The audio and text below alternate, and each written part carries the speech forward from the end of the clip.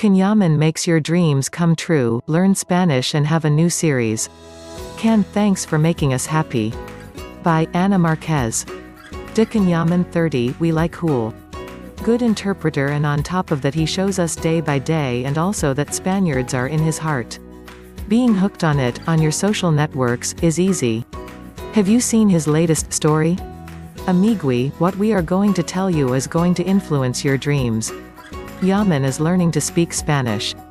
As soon as you close your eyes and enter the REM state, Can Yaman will appear saying to you in half Turkish, half Spanish, suddenly you shut yourself in and pushed me away, and you don't answer any of my questions.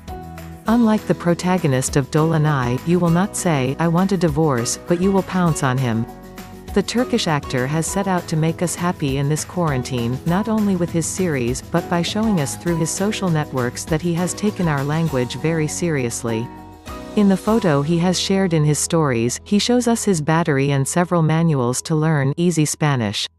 When he came to Spain for promotion, he told us that his new challenge was Spanish and from what we see he is fulfilling his words.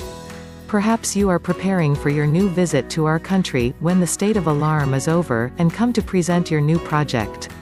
In case you didn't know, Can Yaman has a new series and will premiere in the summer. The series is titled Bay Yanlış in Spanish, Incorrect Lord, and features the same team as Erkenci Kuş, Dreaming Bird. So we are sure it will be a success. It is a romantic comedy and his co-star will be Özge Gürel, actress with whom he shared the screen in Dolunay. At the moment, little else is known. Well yes, the script is written by Asli Zengin, the same one that Erkenci Kuş wrote, which is synonymous with equal parts passion and revenge. Ganita's all ready to see it. Spanish translation